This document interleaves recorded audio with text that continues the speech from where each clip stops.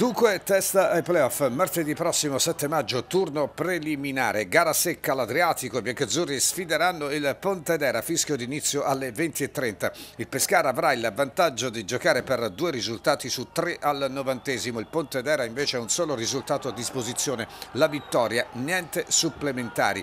I Granata di Max Canzi si sono classificati al nono posto totalizzando 52 punti equamente distribuiti, 26 in casa, altrettanti fuori, in trasferta trasferta stesso bottino del Delfino. Per entrambe terzo miglior rendimento esterno del girone alle spalle di Torres 33 punti e Cesena 43. Lontano dalla Mannucci 7 vittorie ma nelle ultime 4 esterne un solo pareggio 0-0 a Gubbio. I blitz contro Lucchese, Ancona, Olbia, Sestri, Levante, Vis Pesaro, Recanatese Spal. Squadra che segna e subisce 53 gol realizzati, 54 subiti. Nelle ultime 6 gare 3 KO, 2 pareggi e un solo successo con l'Ancona in casa il 7 aprile.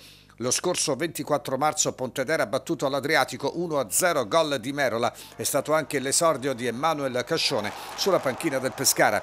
In caso di qualificazione, nel secondo turno probabilmente il Gubbio in trasferta con un solo risultato a disposizione al novantesimo, ovvero la vittoria. Se invece gli Umbri uscissero sconfitti dal confronto interno col Rimini, sabato 11 maggio i biancazzurri giocheranno ancora all'Adriatico contro la vincente della sfida Juve Under 23 Arezzo. Arezzo. Prima però l'ostacolo Pontedera, già superato due volte in campionato. Adesso basterà un pareggio al novantesimo, ma guai a sottovalutare l'11 toscano che a prescindere dalla flessione accusata nell'ultimo periodo resta tra le realtà più interessanti del girone B.